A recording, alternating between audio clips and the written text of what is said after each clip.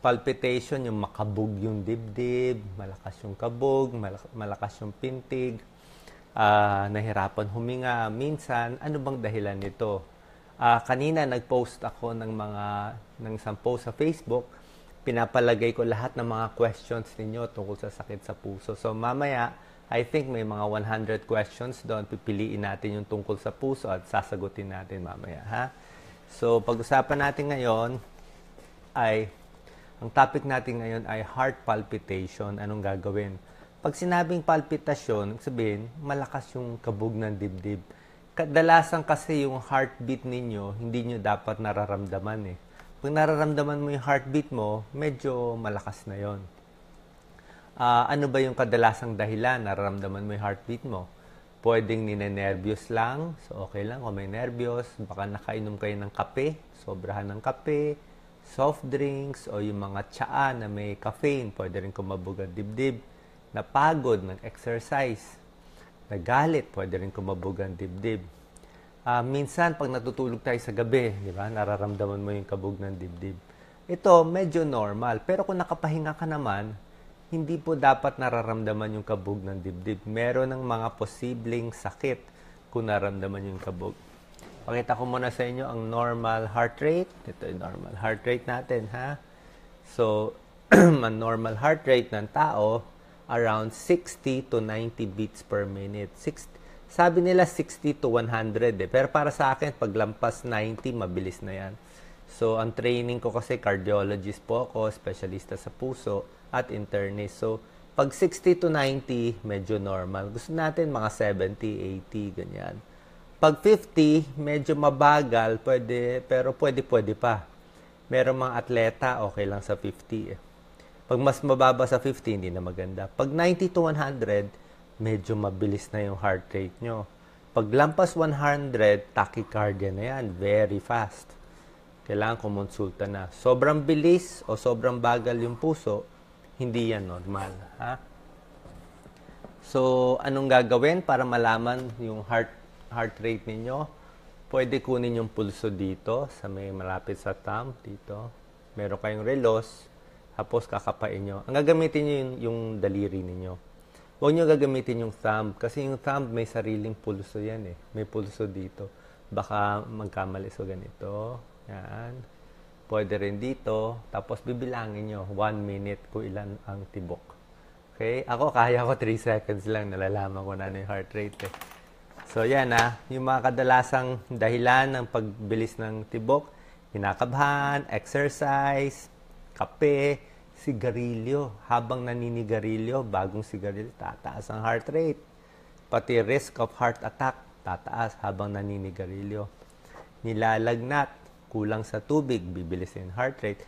Ang mga gamot, kaya sinasabi ko yung mga may sakit sa puso, hindi ko pinapayo uminom ng gamot sa sipon. Alam ko over the counter yan, yung mga gamot sa sipon, hindi ko pinapayo yan Huwag kayong basta-basta iinom ng gamot sa sipon, yung mga may sakit sa puso, may edad, may thyroid problem. Ang gamot sa sipon, merong minsan may pseudoephedrine. Kaya pag meron ka ng dating sakit sa puso, pwedeng bumilis. Yung mga asthma medicines, salbutamol, nakakabilis din. Hormonal, malapit reglahin, uh, kaka-problem din. Ha? Sobrang alak, nagkakos din. So, pakita ko sa inyo ang sakit sa puso. Yan. Okay, pakita natin. Ito yung mga sintomas. So, yan. Minsan sumasakit ang dibdib. Pag masakit ang puso, mabilis ang heartbeat, parang kumakabog. Ah, ito, ito po binabantayan natin. Ha? Salamat po sa pag-like, salamat sa pag-share. Sa mga malakas ang kabog ng dibdib, ito lagi ang napakahalaga. Tatanungin namin, hinihimatay ba parang mawawalan ng malay, parang uh, walang laman ng ulo, parang babagsak. Yan po ang hindi magandang senyales. Pag hinihimatay, baka sobrang bilis o bagal ng puso. Nahihilo, hindi yan maganda. Uh, lightheaded, ha? kasi baka mag-collapse. Eh. Yan ang binabantayan natin. Marami ako nakitang questions kanina. Sa mga questions na nakita ko, sasabihin, Dok, mabilis ang kabog, anong gagawin, anong gamot papakita ko sa inyo ang kabog sa dibdib. Hindi ganyan, hindi po siya ganun kasimple na, Doc, may kabog, Dok, malaki puso, ano gamot? Hindi po ganun kasimple. Maraming ano siya, possibilities. Aabot siguro ng 20 o 30 sakit na posibleng meron kayo. Pag sinabi mo lang makabug, may hingal. So, as a doctor, ako, hahanapin ko pa ano dun sa 30 ang sakit para sa'yo para mabigay yung tamang gamot na para sa'yo.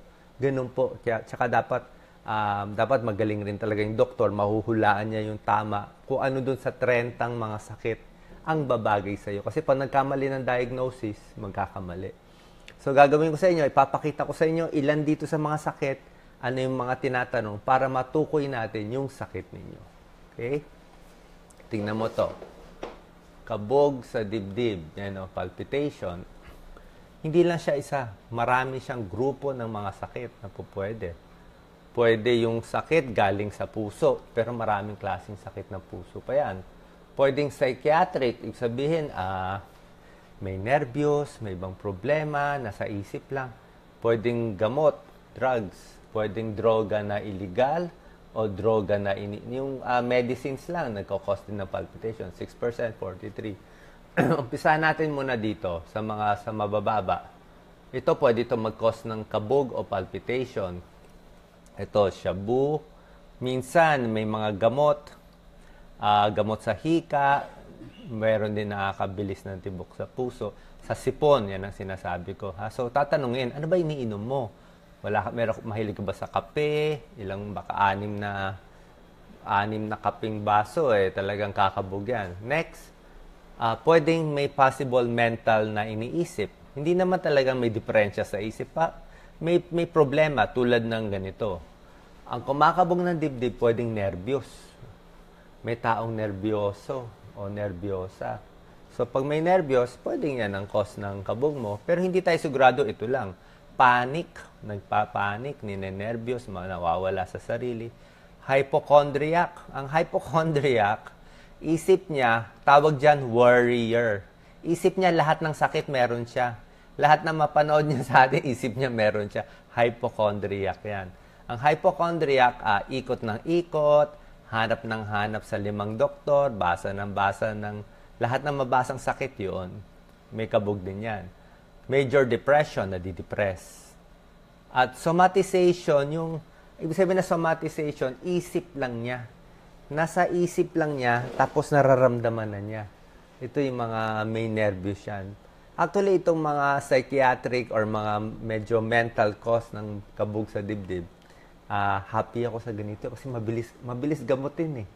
Uh, anxious lang, nervous lang, mabilis lang, papayuhan mo, wala siyang sakit eh.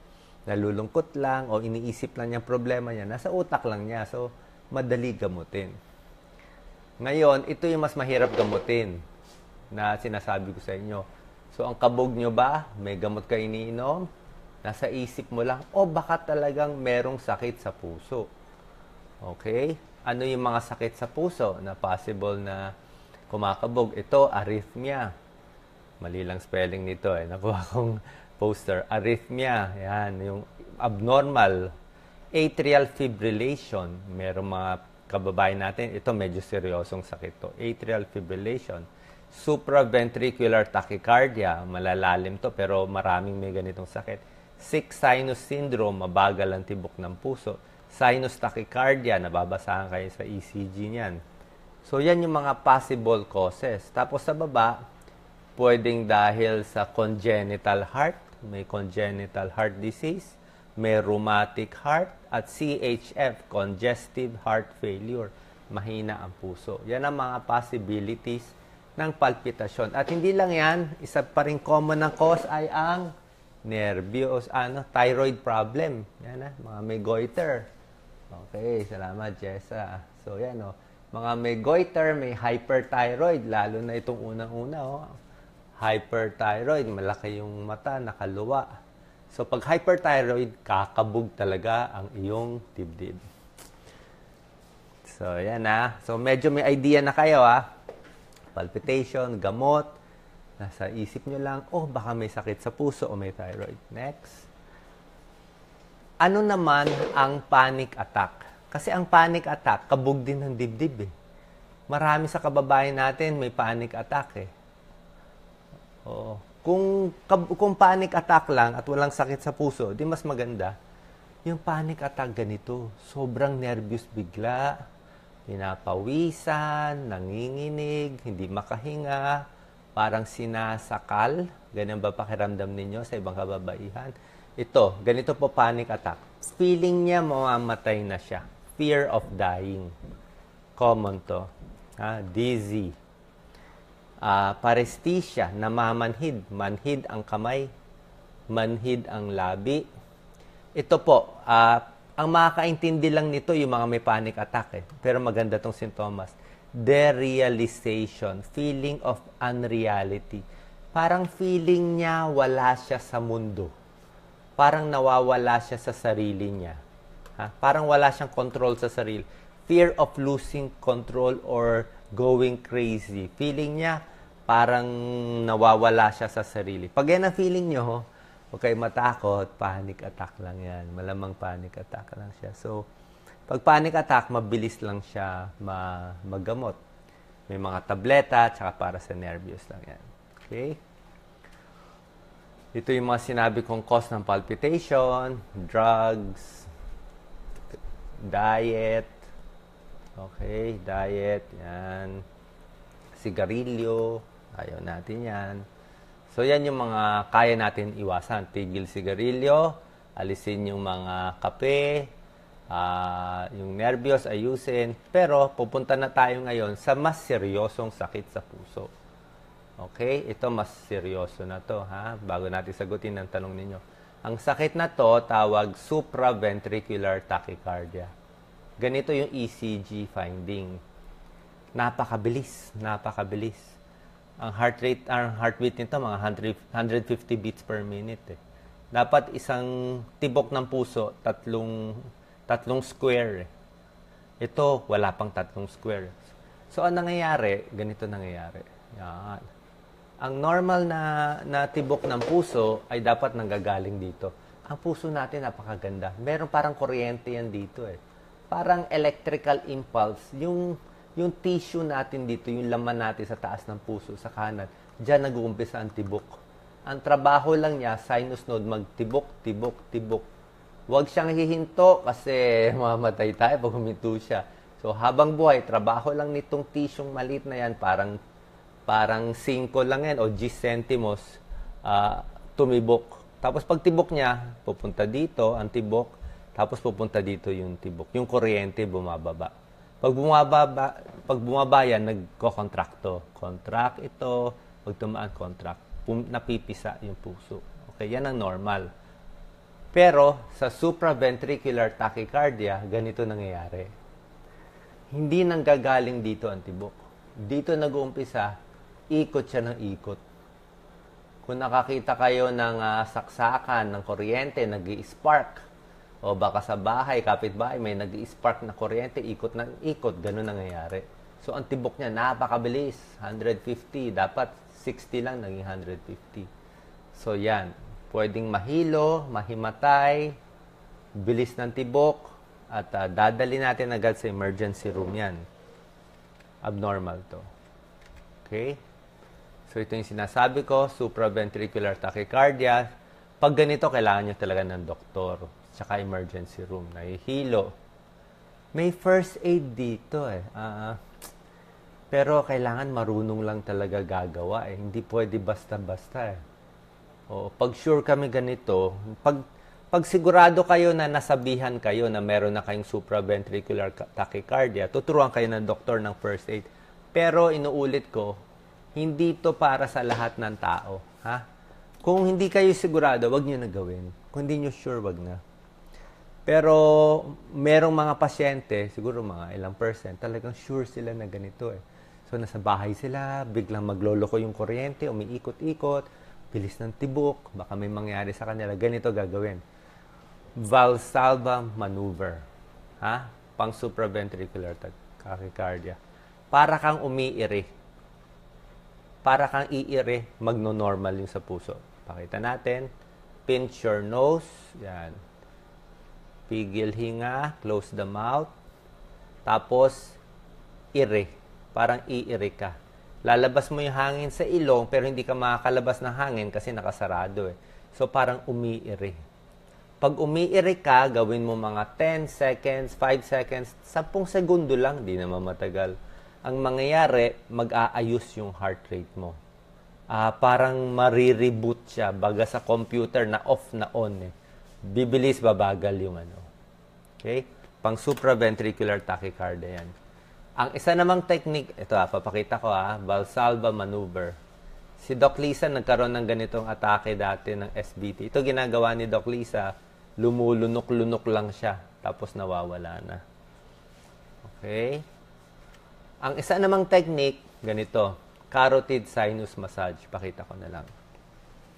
Dito sa carotid natin, dito sa leg natin, mayroon tayong isang maliit na, ano dyan eh, organo, napakaliit dito siya nagko-control nung bilis, ng bagal, ng tibok ng puso. Parang siya pinaka-sensor eh. Baga sa bahay yan, ng thermometer. Alam niya kung high o low eh. So yan. Pag minasage mo siya, ito lang ha, pang supraventricular tachycardia. Huwag niyong gagawin kung hindi niyo alam. Huwag niyong gagawin kung hindi niyo alam masakit niya. Huwag niyo hula-hulaan kasi bag, baka lalo na magloko. ba? So, yung mga 150 ang heartbeat, talagang wala na, nasa bahay lang bago ka umabot sa ospital. Kinakapa banda rito yan, eh, dito sa junction. Kung saan yung may tibok, tapos imamassage mo ng mga 5 to 10 seconds. Isang side lang. Kanan lang o kaliwa, one side. 5 to 10 seconds. Kadalasan, bumabagal din yung heart rate. So, una, gawin yung ganito, valsalva, para umiire, kaya labas. Pag hindi nakuha, gawin yung ganito hanggang ma- madala sa ospital. Carotid sinus massage. Okay? Yan ito ginagawa kan naming mga cardiologist eh. Yan. Nililinaw ko, hindi to para sa lahat ng tao. Yan. Carotid sinus massage. Ano purpose nito? Uh, tunay po to. Ito ginagawa naming mga cardiologists. Hindi to... Yung ibang nakikita nyo sa internet, haka-haka lang yon At uh, medyo hindi hindi tunay na balita yon yung mga napakikita nyo. Ang ginagawa nitong technique, tulad na sinabi ko, ang normal dito ang tibok, di ba? 60 yan per minute. Ito abnormal, ikot ng ikot, 150. So, pag ganito ang sakit nyo, supraventricular tachycardia, ikot siya na ikot para mawala yung ikot nito, para mahinto para mag-normal bigla to, para bumalik sa normal, ito yung ginagawa naming home remedy. Valsalva, tsaka carotid sinus massage. Life-saving yan, nakakabuhay. Pero syempre, uh, dadali na sa ospital. Sa ospital may mga injection na binibigay. Ano mas effective? Uh, yung iba kasi effective na rin yung ganito eh. Anong gamot sa supraventricular tachycardia? Mine-maintain natin ng gamot kadalasan metoprolol, beta blocker, uh, metoprolol binibigay. Tapos uh, yung iba yung malala, merong operation. Medyo may kamahalan. Pero merong operation, hinihiwa yung parting yung sa puso na gagamot. May kamahalan. Hindi ko sure, mga 300, 400,000. Ang pupuntahan nyo, cardiologist, electrophysiologist. May ganun pa, cardiologist, electrophysiologist. So yan na, SBT. Ang isa namang sakit na kabog din, atrial fibrillation. Ito kadalasan may edad, may rheumatic heart disease, at ito naman kakaiba ang problema. Ito dapat yung normal, di ba? Sinasabi ko sa inyo, yan ang normal na tibok. Ang nangyari sa atrial fibrillation, kung saan-saan lumalabas ang tibok. Ayan, kung saan-saan. May tibok dito, may tibok dito. Kadalasan may heart enlargement. Kadalasan may rheumatic heart. Ayan, no, pag nasira ang valvula, lumalaki atrial fibrillation. Hindi rin to maganda. Ito, seryosong sakit. Ang normal na ECG, ganito normal na ECG. Yan, ang ganda, oh. Normal na tibok, di ba? Regular. Di ba? Tibok, tibok, tibok, tibok, labdab, labdab, labdab, normal. Di ba? Pag ang may atrial fibrillation, ang tibok hindi normal. Ganito ang tibok niya. Oh. Love, love. Love, love. Oh, wala. Love, love. Love, love. Ganun. Patalon-talon. Parang sumasayaw-sayaw yung yung heartbeat mo. Hindi po to maganda. Kasi pag naglolo ko yung heartbeat, lumalapot yung dugo. Pag lumalapot yung dugo, minsan nai-stroke. Ano gamot dito? Ah, uh, cardiologist talaga to kasi maselan to, tinitimpla yung gamot eh.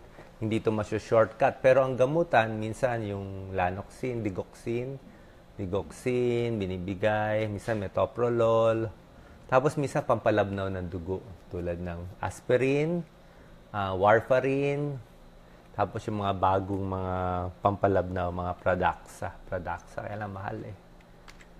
Okay? So, ganito gagawin natin na overview sa lahat ng may takot, masakit ang dibdib, may kabog ang dibdib. Ganito ang pag-basis namin. Nasabi ko na sa inyo mga possibilities, di ba? So, ito yung tatlong basis natin. Yan. Okay, green is okay. Orange is warning. Red is emergency. Okay? Tingnan natin muna yung green na okay. Pag kayo ganito pakiramdam nyo, may kabog-kabog konti, tapos may kabog-kabog yung puso, ang papagawa ko sa inyo, magpapa-ECG kayo electrocardiogram. Okay? Pag normal ang ECG nyo, yan, good. Tapos, family history, may lahi ba ng sakit sa puso? Let's say, wala ring lahi ng sakit sa puso. Normal ECG, walang lahi sa sakit sa puso. At, papagawan pa natin ng 2D echo. 2D echo. Kailan 2D echo? Mga 2,000 ang pinakamura eh. 1,800 or 2,000 eh. So, normal ECG, normal 2D echo, walang lahi, uh, most likely walang kaso. Low risk. Okay ka. Uh, baka nervous lang yan. Baka nervous lang. So, kailangan natin ng ECG. Uh, ah, meron namang mga mura lang. Siguro 200, 300. May libre din sa medical mission minsan. Yung 2D echo, 2,000 eh. Yung talaga para ma-sure. Kung walang, kung walang pera, baka dito na lang. Pero kung talagang gusto malaman, kailangan ito. Okay? Next naman, ano yung medyo kailangan serious? Okay? Titingnan natin, depende sa kabog ng dibdib. Okay? Ito, history of tachyarrhythmia, palpitation. Andito katabi ko si Doc Lisa. Pag medyo abnormal na yung ECG, mas babantayan na natin, di ba, Lisa? Yes. Oo, so nandito na ba tayo sa red as a yellow? Uh, abnormal ECG. So, mura lang ho ang ECG sa pinakamalapit na laboratorio sa inyo para malaman lang yung tibok. Dapat naman meron tayo at least kahit isang ECG. Yes, oo. Tapos pag may nakitang abnormal yung ECG o at sa 2D echo may finding, depende yan sa finding, yan papakita na sa cardiologist para mabigyan ng tamang gamot. Okay? Ngayon, ito ang mas... Actually, itong orange uh, serious na rin to eh. Kailangan na to talaga bantayan. Ito yung pinaka-serious sa lahat. Pinaka-serious, nag-exercise, kumakabog, nawalan ng malay, sinkope, muntik mawalan ng malay. May sira yung puso, malaki ang puso. May kamag-anak na namatay na maaga, uh, ah, 50 years old and below, namatay yung kamag-anak, pinsan, tatay, nanay, uh, high risk yan, baka namamana. May barado yung puso, refer to cardiology emergency. Yan, ha? Nakita nyo na itong mga possibilities. So, sa lahat ng mga nagtanong, may mga sampu ako nakita na nagtanong na anong gagawin nila, Dok, makabog. Pagtayo daw niya, makabog.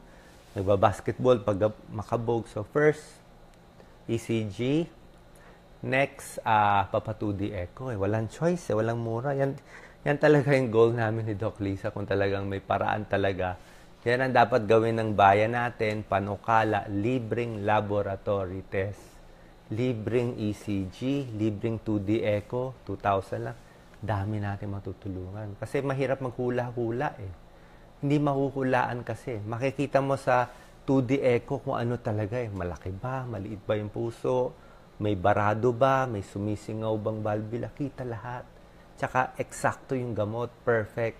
So, ang pinakamura, around 2,000 sa alam ko. Pag senior, baka 1,800 eh. May laboratory. Ang, kilala ko na yung high precision, di ba, Doc Lisa? Oh, high precision sa mga mall, mura. Tapos sa hospital kasi mahal ang 2D echo, mga 4,000. So, doon na kayo. Sa PGH, mas mura, haba naman ang pila. Hindi tayo abot sa pila. So, ganun eh. So, sana yan ang goal natin, magbigay ng libreng 2D echo. So, alam nyo na, so kung either okay lang, depende pag normal ECG, 2D echo. Pag hindi nyo pa nagagawa, magpagawa muna kayo ng ECG, 2D echo, bago kayo magpa-check up. Bakit? Para isang check up na lang kayo, di ba? Mas makakamura kayo. Okay. Ngayon, merong isang seryosong sakit na bukod dun sa supraventricular tachycardia o yung atrial fibrillation, pasensya na, medyo malalim ha. Kasi uh, maselan eh. Uh, maselan ang puso. Pag nagkamali, as a cardiologist, pwedeng mamatay yung pasyente. Kaya talagang maingat tayo eh. Meron tinatawag na ventricular tachycardia. Yun ang mas serious. Yung ventricular tachycardia, yun ang tibok bago mamatay ang lahat ng tao eh. Pag yun ang nakita sa ECG o sa Holter monitor, yung ECG na matagalan, ito binibigay. Napakaganda nito. Implantable cardiac defibrillator. Meron na yan sa Pilipinas. Alam niyo yung mga kinukuryente, di ba, sa TV, di ba, na ini shock yung katawan. Ito, hindi na kailangan i-shock. May automatic na nagsha-shock. May ECG ka na sa loob ng katawan mo, nakadikit na siya sa puso. So, pag nakita nitong ICD, implantable cardiac defibrillator, pag na-sense niya na ang ng puso mo ay hindi normal at malapit nang bumigay ang puso, magbibigay siya ng kuryente. Isya-shock niya yung pasyente. Pag kinuryente niya, babalik sa normal buhay ang pasyente. Ang problema sa ganitong makina, uh, huling alam ko, 1 million. Eh. 1 million yung, yung maliit na ganong gadget. Pero siguradong buhay yung pasyente. Life-saving. Sa US, maraming may ganyan. Sa Pilipinas, nagagawa na rin. Meron tayong gumagawa niyan. Para lang alam ninyo, di ba? Kung wala tayong pera, uh, kaya nga tuturuan tayo ni Doc Lisa, healthy foods for the heart para hindi magkasakit. Pero kailangan alam mo rin eh, paano kung may ganitong sakit. Di ba? Paano kung makahanap tayo ng ano, libre o magdo-donate, di ba? Yan, implantable cardiac applies electrical shock. Pag na-shock, normal agad ang puso. Ito. Ang ganda nitong makina to. Ang lang niya eh. Parang posporo lang. Mas maliit pa. Nakapasok yung wire dito. Nilalagay sa ilalim ng uh, balat. Para siyang pacemaker. Pero mas maganda to kaysa sa pacemaker. Okay. So, yan ang mga tips natin para sa puso. Bago natin puntahan si Doc Lisa, kamusta naman sila, Jessa? Okay naman ba? Okay naman yung mga kababayan natin? Mga comments? Promise ko sa kanila ay babasahin ko ang mga comments. Ito ah, live tayo. Titingnan ko comment nyo. Hanapin natin. Naglo-load. Ito, pakita mo Jessa yung mga comments. Ito, live. Ito, comments, most recent. Ito. Ito mga comments ng kababayan natin. Kambal Moko. Hindi po normal ang heartbeat ko. Laging may pressure sa dibdib. Lagi siyang kinakabhan. Hindi na siya uminom ng kape. 25 years old. Mabilis siya mapagod. Okay. So, sa tanong niya, uh, unang-una sabi niya 25 eh. Pag 25 years old, medyo tanong ko sa iyo, meron ka na bang sakit sa puso? May rheumatic heart disease ka ba? Kung wala naman, tapos batang-bata ka pa, kung ECG mo normal, lalo na pag may 2D echo ka. Kung wala kang 2D echo na normal, kahit x-ray.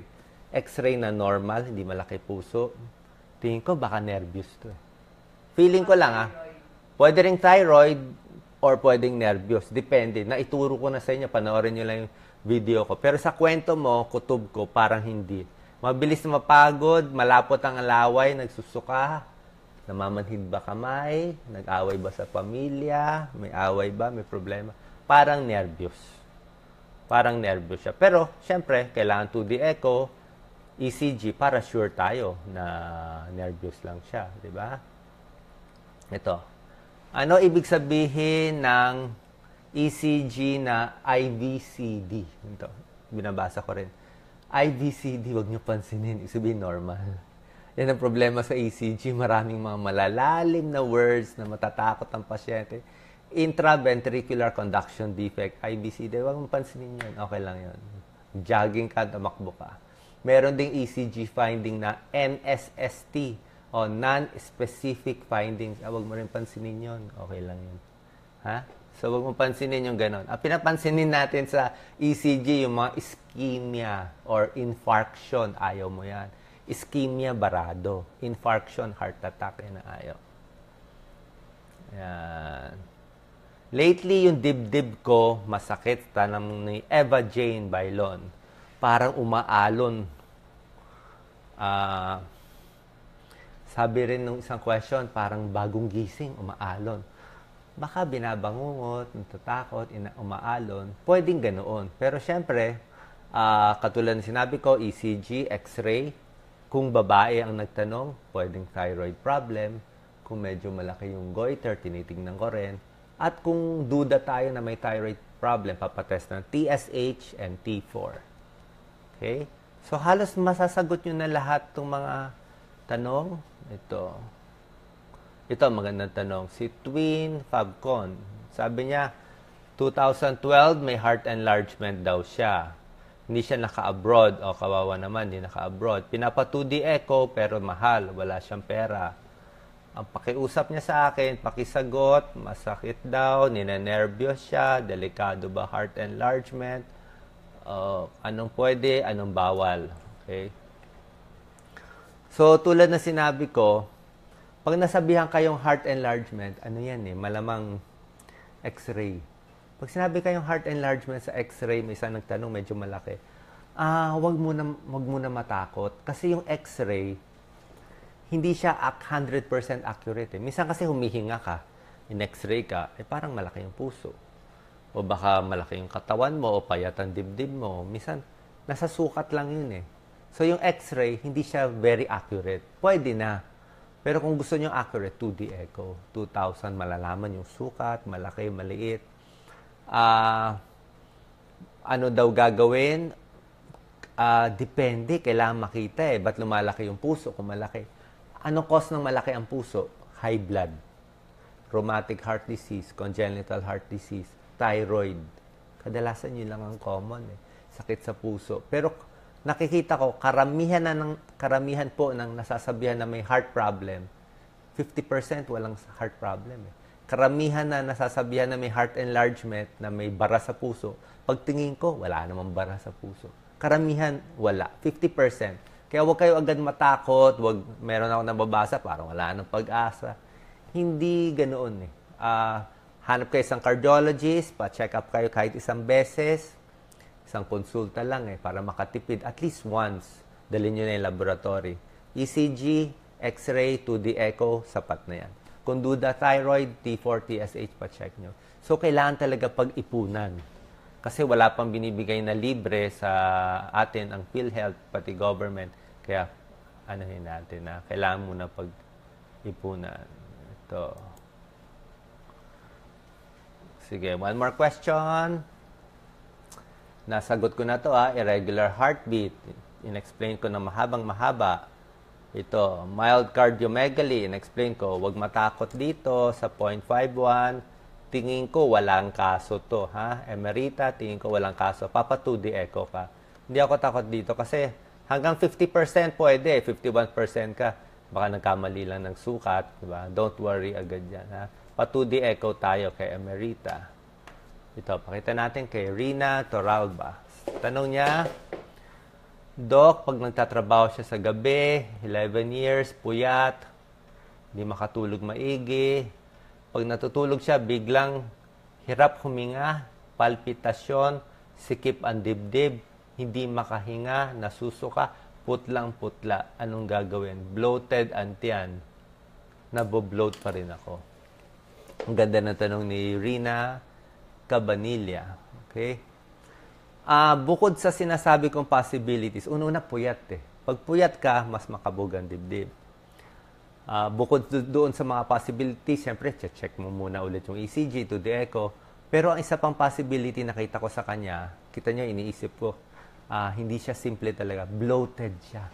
Tandaan nyo to. Pag ang tao may ulcer, may kabag, may irritable bowel syndrome, basahin nyo lang yung video ko, panoorin nyo. Pag makabog ang dibdib, gusto mo dumumi, nagtatai ka, apektado ang puso. Oras na kumulo ang tiyan, pati puso magloloko. May connection sila eh. May connection siya. Ito personal experience ko rin eh.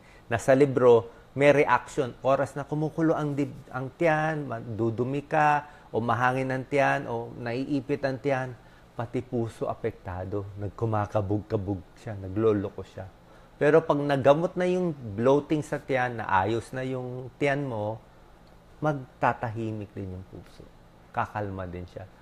Okay, so sa akin, gamutin yung bloating ng tiyan kung ano man yon, kung irritable bowel, kung stress, o hindi makadumi, kailangan regular yung pagdumi. Baka nai-imbak din naman yung dumi.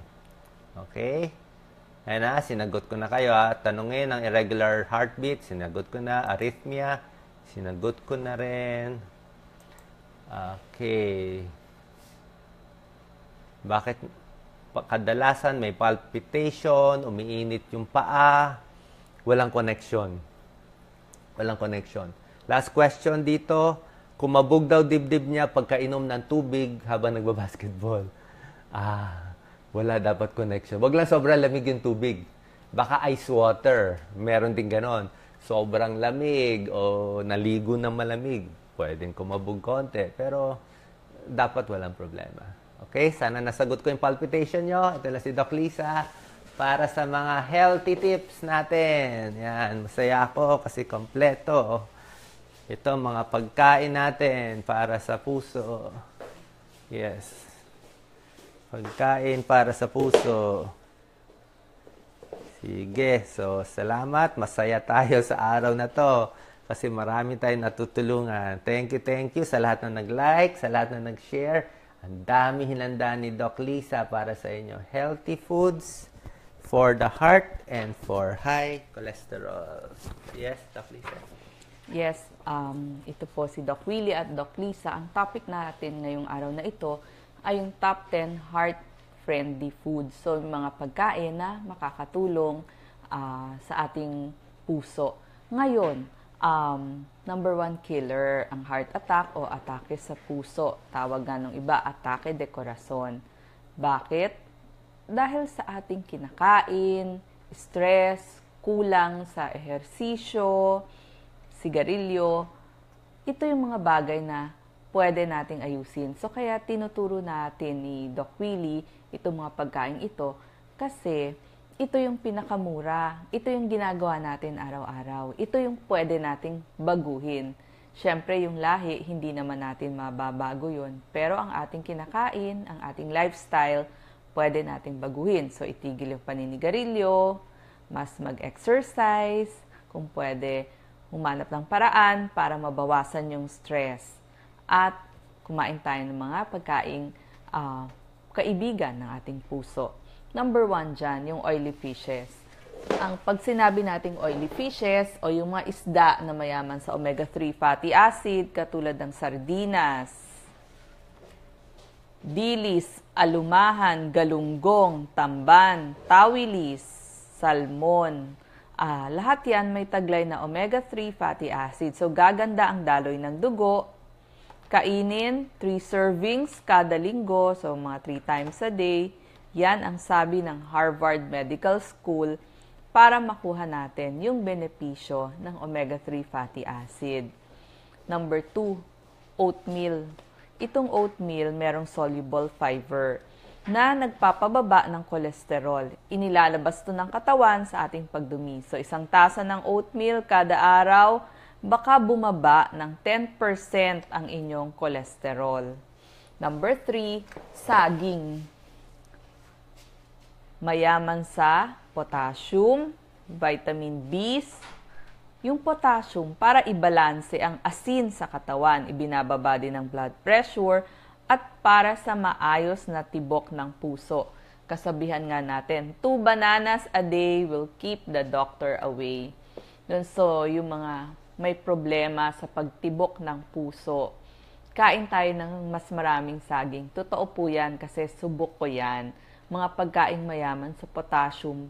Kasi kapag kulang kayo sa potassium, ah, panay ang kabog ng dibdib nyo at mas ramdam nyo yan kapag gabi. Kaya ako dinadamihan ko yung mga pagkain marami sa potassium. Number four, bawang. Bawang, meron kasing alisin. Ibinababa nito ang kolesterol, antioxidant din yan at pampalabnaw ng dugo. So kung kayo magluluto, eh, isama nyo na sa halos lahat ng inyong lutuin. Nuts. Itong mga nuts ha. Kasoy, mani. Gaano kadami? 1-4 tasa ng binusang mani o kasoy. Kung pwede, less salt o kaya isang kutsara ng peanut butter na palaman. Kasi meron itong taglay na magnesium uh, magnesium maaaring makababa ng triglycerides natin, ng makababa din ng blood pressure, makataas ng good cholesterol o yung HDL cholesterol at ibinababa ang risk ng pagkakaroon ng atake sa puso. Yung mga nasa abroad, uh, baka mas mura sa kanila itong walnuts. Yung walnuts kasi, mayaman yan sa omega-3 fatty acid. Pero dito sa atin sa Pilipinas, medyo mahal. Kaya mas in-example ko na lang itong kasoy tsaka itong mani kasi yan yung marami sa atin sa Philippines. Dark chocolate. Ito ang example ng dark chocolate. Ang dark chocolate, merong antioxidant na flavonoids. Yan, tsokolate, maaaring makapagbaba ng blood pressure, makabawas ng pamamaga ng ugat, at para gumanda yung elasticity ng ating ugat. Isang onsa, mga medyo ganitong kalaki yung isang onsa. Kailan katumbas nito? 150 calories na eh. Ito. 150 calories ng isang ganito. So, mga ganong karami lang ang pwede natin kainin. Ano? Itong dark chocolate, doble ang flavonoids kumpara sa milk chocolate. Kaya, kung kaya natin na ito yung kainin at bilin, ito na lang para healthier chocolate. Number seven, yung mga pula o orange na gulay.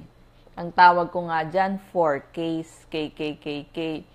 Carrots, kamote, kamatis, kalabasa, antioxidants lahat yan na beta-carotene. Meron ding lycopene, vitamin C, may fiber, may potassium. Ayon sa Harvard study, nakakababa ito ng risk ng atake sa puso ng mga 22%. Ibinababa din ng risk ng stroke ng mga 40 to 70% ang pinapaalala nga natin, prutas, gulay, yan naman talaga ang kaibigan ng puso. Kaya mas kakainin natin. Beans, itong example ng beans, mongo beans, red beans, black beans. Ayon kay Dr. James Anderson ng University of Kentucky, uh, isang tasa ng cooked beans or 3 servings kada linggo, maaaring maibabang inyong kolesterol ng hanggang 20 Tsaka source ng protina. So, pwedeng pampalit dun sa inyong mga meat products. Number 9, berdeng gulay. Ito example. Uh, kangkong, repolyo, broccoli, maraming vitamin B at saka folate. Kasi yung folate, ibinaba, ibinababa nito yung mga C-reactive proteins o yung mga homocysteine. Ah, yung C-reactive tsaka homocysteine, ito yung nagpapataas ng risk ng pagkakaroon ng atake sa puso. So, tsaka itong mga bitam yung mga gulay na ito, like broccoli, marami yang potassium. So, pag mataas ang potassium mo, ibababa niya yung asin sa iyong katawan o yung sodium. Ah, itong soya, kasama dyan sa soya, yung tokwa, tofu, soya milk, source ng protina, vitamin B, folate, calcium, potassium, magnesium. Sabi nga ng American Heart Association, pangpalit ito sa karning baka, karning baboy, yung mga high-fat foods o yung mga high-fat na pagkain. At isama na rin natin yung mga red foods for the heart. Anong example nun? Mga strawberry, tomato sauce, grapes, yan yung damihan natin. So, ito yung mga uh, bagay na mababago natin. Isama na natin yung pag-exercise, paghinto sa sigarilyo, at pagbawas sa stress para hindi tayo magkaroon ng sakit sa puso at heart attack. Yes, yes, Doc Willie. Yes, thank you very much. Pinabasa ko lahat ng mga comments ng ating kababayan. Yes, sige, si Doc Lisa kukuha. Okay na muna si Jessa. Thank you, Jessa. Tawagin ka namin ulit mamaya sa part 2. Ah, dito tayo, Doc Lisa. Meron akong papakita sa kanila.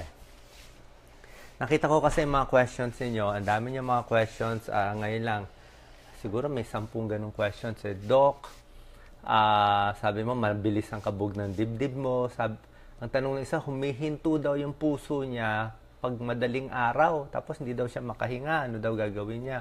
Ah, hindi naman talaga hihinto ang puso.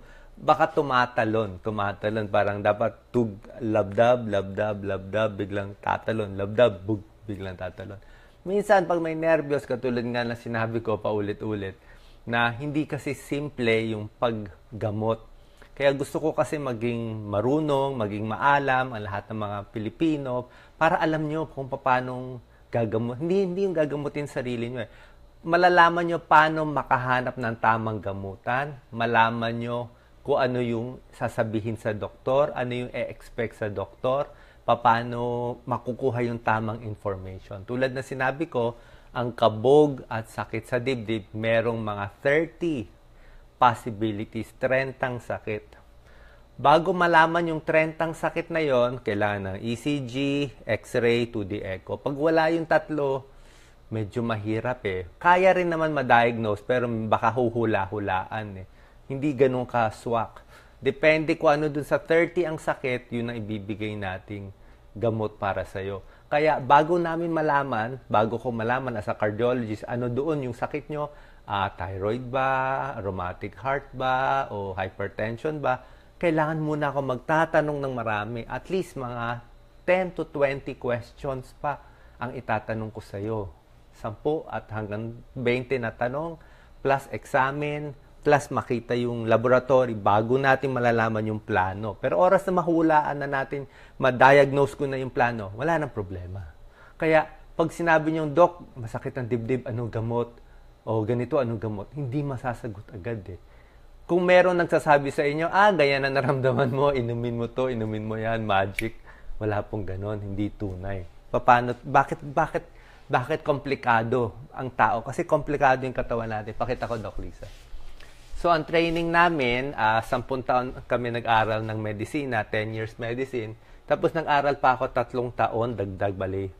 10 to 30, tatlong taon para sa internal medicine, katulad nito. Ito yung Bible namin. Binasa ko tong libro word for word. Ito. Word for word, binasa natin itong libro.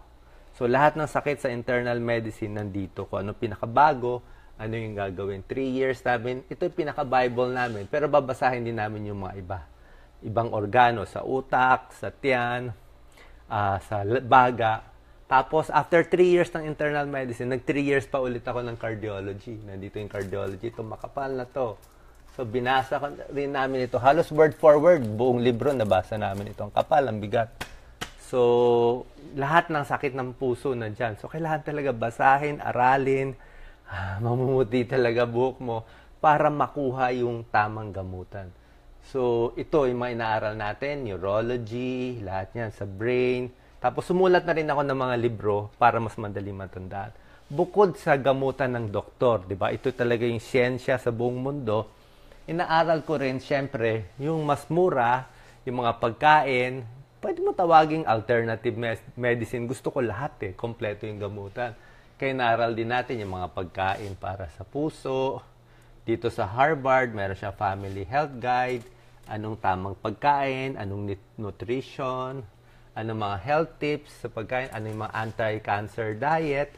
Uh, medyo a little alternative na to, pero importante pa rin eh. Mga home remedies na magagawa nyo sa bahay na mas mura, inaral din natin lahat. Like yung tinuturo ni Doc Lisa, kung wala naman sakit sa puso para makaiwas, maganda itong mga pagkain na inaaral din namin. So lahat-lahat yan para mabigyan kayo ng tamang gamutan at complete. Kaya kahit hindi ko masasagot ng eksakto, at least nabibigyan ko kayo ng guide. Okay? So sana maliwanag po yon. Dito tayo, Doc Lisa, Kuakasilya. Yan. So, pag-usapan ko lang konti. Questions ninyo about chest pain. To, chest pain. Yan, chest pain. Tulungan ako ni Doc Lisa. So, pag healthy tayo, masipag tayo, hindi na kailangan magbara yung puso. Yan, di ba? Sumasakit ang dibdib, yan ang kinakatakot natin, may bara sa puso. At pag malalala nga, minsan tumatawag sa atin, na may bara na sa ugat sa puso at nilalagyan ng angioplasty ng wire. Mahal ito eh. Parang operation siya. Pero minor operation lang yan. Yan yung umabot ng mga 500,000. Ano itong mga laman? Taba. Taba ng baboy, taba ng baka, mamantika, fast food, ah, paninigarilyo, high blood, cholesterol, lahat yan. Kaya iwas tayo kasi napakamahal nitong stent na to, itong balloon na to. 150,000 isang ganyan eh. Yan. So mga sakit sa dibdib, sa lalaki, hindi nga katulad ng sinabi ko, hindi ganun kasimple. Ito yung mga parte na posibleng sa puso. Ha? Dibdib, kaliwang kamay, misa sa sikmura, puso din yan. Sa leeg, pwede rin sa puso. Yan, possible yan. Yan ang mga lugar. Dito, kaliwang kamay. Kadalasan sa kal- kaliwang kamay, dito sa inner arm. Sa babae na may sakit sa puso, what it feels like to have a heart attack. Minsan ganito, ito yung kadalasan na parang nalagyan ng isang tonelada sa dibdib. Pero sa kababaihan, minsan iba naman ang symptoms eh. Parang tinutusok lang, parang pinapawisan, parang nahihirapan huminga. So, kailangan natin nitong mga tinetest natin. Okay? Ang first aid natin, kanina pinakita ko na sa inyo ang first aid sa abnormal na tibok. First aid sa heart attack. Kailangan sure heart attack, ha? Kung sure heart